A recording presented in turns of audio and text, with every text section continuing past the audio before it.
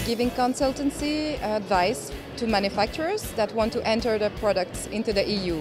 So we give them all the advices on the conformity of their products. We are the biggest one in, in Europe now doing this profession. It's a family business uh, and we care for our clients as we care for our family.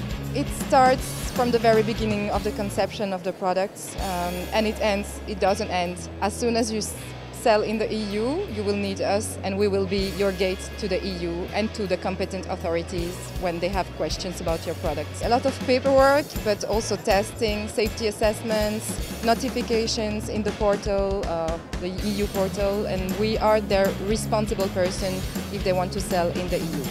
If you want to have more information, you can go on our website www.obelis.net.